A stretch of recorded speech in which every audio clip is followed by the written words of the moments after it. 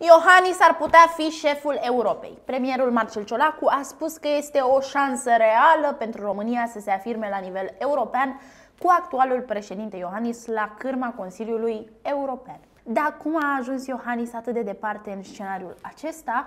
Charles Michel, actualul președinte al Consiliului European, din care fac parte liderii de stat sau de guvern ai statelor membre UE, vrea să candideze la Parlamentul European. Astfel, locul va rămâne liber de la 1 iulie 2024. Următorii pe listă, conform criteriului vechimii, ca prezență în Consiliu, sunt Victor Orban și Klaus Iohannis. Însă ar mai fi un impediment în cursa pentru Consiliu. De la 1 iulie, Ungaria preia președinția UE și dacă nu se întrunește numărul de voturi necesare pentru desemnarea unui nou candidat la Consiliu, atunci și președinția acestuia este asumată de către țara care deține președinția UE, adică de către Orban. Dar știți că la noi anul acesta sunt alegeri prezidențiale, cel mai probabil în noiembrie, deci dacă devine președinte al Consiliului UE, Iohannis ar putea să renunțe la funcția actuală.